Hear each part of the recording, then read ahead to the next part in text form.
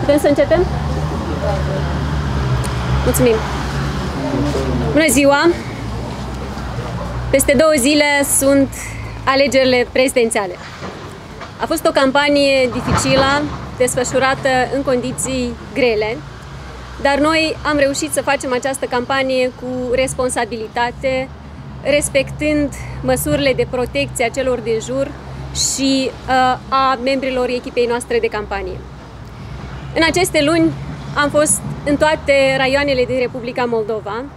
Am avut întruniri, peste 300 de întruniri cu mii de oameni din orașe și sate și m-am bucurat să aud de la toți oamenii buni că ei își doresc același lucru ca și noi.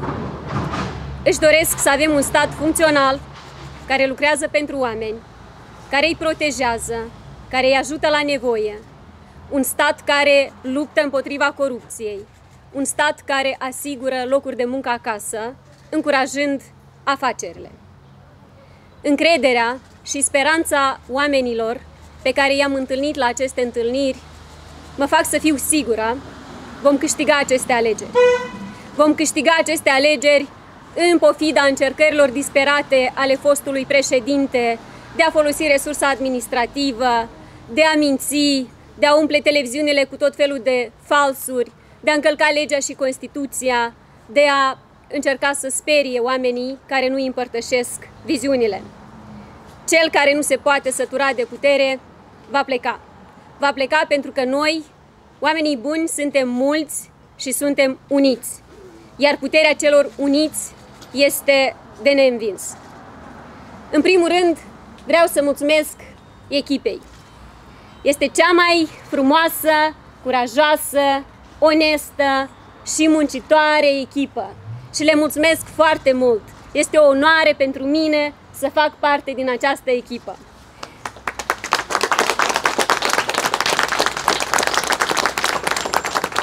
Vreau să le mulțumesc tuturor, vreau să le mulțumesc voluntarilor, pentru că s-au înscris foarte mulți oameni care au venit să ne ajute în această campanie. Vreau să le mulțumesc tinerilor care au ieșit în fiecare dimineață și au mers din sat în sat în loc să stea pe Instagram. Vreau să le mulțumesc uh, oamenilor în vârstă, vârstnicilor din echipa PAS Seniori, care nu doar că sprijină lucrurile pe care le promovăm noi, dar care muncesc zi de zi și au mers în localități și ne-au demonstrat că au atâta energie încât uneori celor mai tineri le este greu să se țină uh, în spatele lor, să țină uh, pasul. Vreau să le mulțumesc frumos echipelor noastre locale din toate localitățile, de la Ocnița, Briceni, Iedineț, Cahul, Lova, Ștefan Vodă, Căușeni, uh, Ungheni, Fălești, Florești și toate celelalte. Vreau să le mulțumesc tuturor colegilor care zi de zi au mers de la ușă la ușă, din uh, localitate în localitate, ca să ajungem la cât mai mulți oameni și ca să îi convingem să ne unim cu toții și să câștigăm aceste alegeri ca să construim o țară pentru oamenii buni. Vreau să le mulțumesc tuturor celor care au donat în această campanie. Să știți că avem peste o mie de donatori, peste o mie de oameni care au donat din resursele lor, puține sau multe, dar cu toții au făcut un efort financiar pentru ca noi să putem să facem această campanie și ca să putem să câștigăm. Le mulțumim tare mult tuturor celor care au contribuit într-un fel sau altul. Acum am câteva importante, câteva mesaje importante pe care vreau să le spun. În primul rând, avem semnale că sunt puse la cale acțiuni de cumpărare a voturilor și încercări de fraudare a alegerilor. Vreau să-i rog pe toți oamenii să fie vigilenți, să ne raporteze toate aceste încălcări atunci când le depistează. Vă rugăm să comunicați cu noi, expediind mesaje la adresa antifraudă aron, un pas pentru .md și noi vom reacționa rapid la toate aceste uh, semnale de fraudă sau de cumpărarea voturilor pe care ni le transmiteți. Este foarte important să ne apărăm voturile și noi contăm pe vigilența dumneavoastră. 2. Am un apel către angajații statului să nu se lase implicați, folosiți în acțiunile lui Igor Dodon de fraudare a voturilor. Trebuie să știți că după 16 noiembrie, Igor Dodon nu o să fie acolo ca să vă scoată basma curată din uh, beleaua în care vă bagă punându-vă să participați în aceste scheme de fraudare a alegerilor. Dumneavoastră, ca și ceilalți cetățeni ai Republicii Moldova, meritați să trăiți într-o țară care este condusă de oameni onești. Și vreau să știți că fraudarea alegerilor este un pericol la securitatea statului și va fi pedepsită foarte dur. Pentru toți alegătorii din Republica Moldova este crucial să mergem la vot. Pe 1 noiembrie, puterea va aparține dumneavoastră. Nu ratați această șansă, mergeți cu toții la vot. Vreau să ținem cont și de niște reguli simple pe care trebuie să le respectăm ca să fim în siguranță. În primul rând, vă uh, invit pe toți să verificați unde este secția de vot. În acest an, în Chișinău, mai multe secții de vot sau locația pentru aceste secții de vot a fost schimbată. Nu s-a păstrat aceeași adresă ca în alegerile precedente.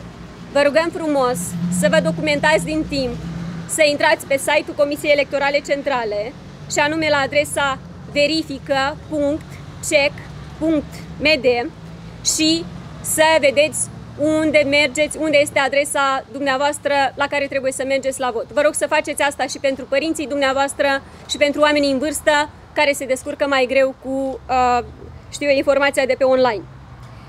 La secția de vot veniți cu mască. În cazul în care ați uitat masca acasă, să știți că o să primiți una gratis de la Comisia Electorală Centrală. De asemenea, vă sfătuim să veniți la secția de vot cu pixul de acasă, dacă cumva l-ați uitat, o să folosiți pixul de la secția de vot, dar nu uitați imediat după asta să dezinfectați mâinile pentru ca să fiți în siguranță. Vreau să mă adresez și diasporei. Dragi concetățeni, dumneavoastră întotdeauna ați făcut diferența. Dumneavoastră ați mișcat lucrurile înainte.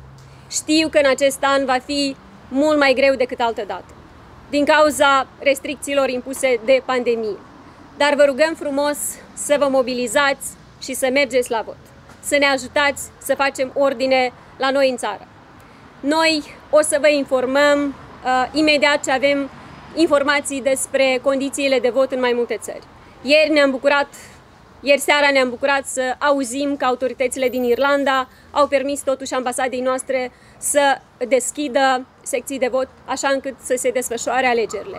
Noi o să informăm concetățenii noștri din uh, alte țări care uh, trec prin această perioadă de uh, restricții noi din cauza COVID-ului, așa încât cu toată lumea să, să fim informați. Dar este important să facem acest efort și să mergem la vot. Și încă un lucru important pentru toți este să îi convingem pe oamenii apropiați, pe vecini, pe colegi, să meargă la vot. Este un efort pe care trebuie să-l facem împreună cu toți Uh, și făcând acest efort, unificându-ne uh, eforturile și dorințele noastre de a construi o țară pentru oameni buni aici acasă, o să reușim să câștigăm aceste alegeri. Duminică, 1 noiembrie, ieșim la vot și punem Republica Moldova pe calea cea dreaptă. E vremea oamenilor buni!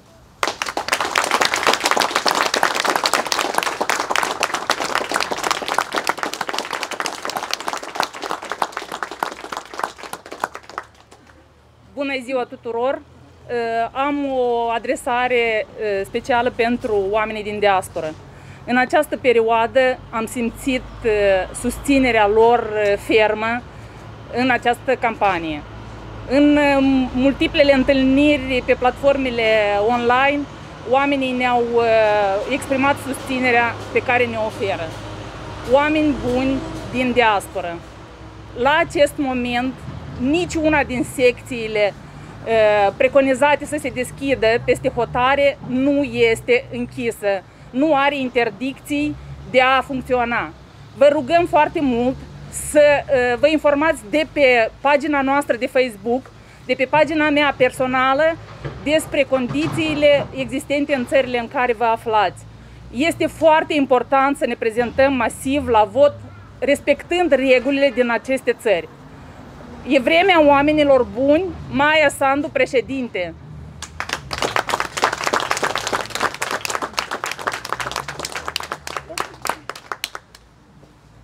Bună ziua! Sunt uh, Vladimir Bolea, președintele organizației teritoriale pe municipiul Chișinău. Uh, vreau să mă folosesc de această ocazie și să mulțumesc sutelor de membri de partid din organizația teritorială pe municipiul Chișinău, care în fiecare zi s-au implicat masiv în promovarea adevărului pentru cetățenii din Republica Moldova. Au dorit zeci de ore pentru a promova pentru întâlnirile cu Maia Sandu, în care cetățenii din Republica Moldova și din municipiul Chișinău au putut să informeze despre viitoarele alegeri și despre calitățile care le are candidatul nostru. Mai mult ca atât, cetățenii au aflat adevărul despre oponenții noștri politici și despre Republica Moldova în sine. Uh, vin cu un apel către toți cetățenii noștri. În data de întâi ieșim masiv la vot, votăm Maia Sandu, președintele Republicii Moldova, pentru viitorul oamenilor buni din țara noastră. Vă mulțumesc foarte mult!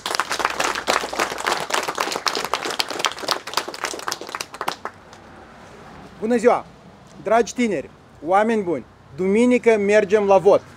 Spun asta pentru că în ultimele săptămâni, alături de organizația de tineret PAS și sute de voluntari din întreaga țară, am vizitat toate raioanele Republicii Moldova și sute de localități. Și în toate localitățile oamenii spun un lucru, că ei își doresc o țară din care tinerii să nu mai fugă. Noi am auzit și ne-am vorbit cu părinți și bunei care își pun speranța în tineri. Noi am vorbit cu zeci și sute de tineri, studenți și profesioniști care cred și vor un loc bun de muncă acasă. Noi am vorbit cu tinerile familii care își doresc să-și crească copiii acasă. Și noi am vorbit și am primit mii de mesaje de la tinerii din diasporă care ne spun că vor să ajute Moldova și că le este dor de casă.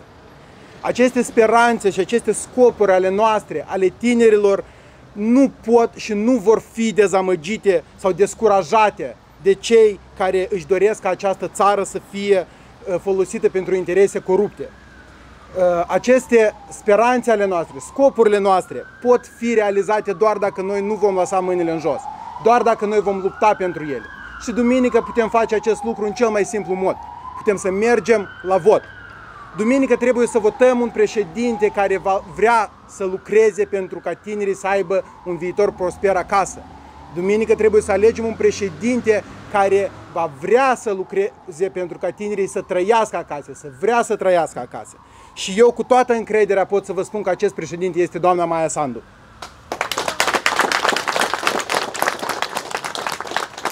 Dacă mai sunt tineri care cred că ieșirea la vot de duminică, că 15 minute pentru a merge la vot nu va schimba nimic și lucrurile în țară nu pot fi îmbunătățite, vreau să vă spun un lucru. Dacă vom sta acasă, cu siguranță lucrurile nu se vor îmbunătăți, ele vor deveni doar mai rele. Însă dacă mergem la vot, putem să schimbăm lucrurile în țară. Și votul pentru Maia Sandu este o garanție că aceste schimbări spre bine vor veni și se vor materializa în viețile tinerilor, în viețile noastre de zi cu zi. Eu vreau să le mulțumesc pe ultima sută de metri voluntarilor echipii care au străbătut țara în lung și în lat. Eu vreau să le mulțumesc lor pentru cel mai important lucru, că ei în întreaga țară au inspirat un mesaj simplu. E vremea oamenilor buni. Duminică, data de 1 noiembrie, votăm Maia Sandu. Vă mulțumesc frumos!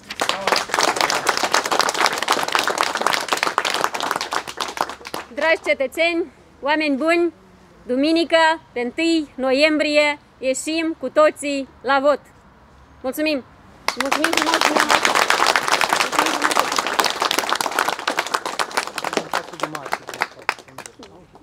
Mulțumim frumos! O zi bună să aveți!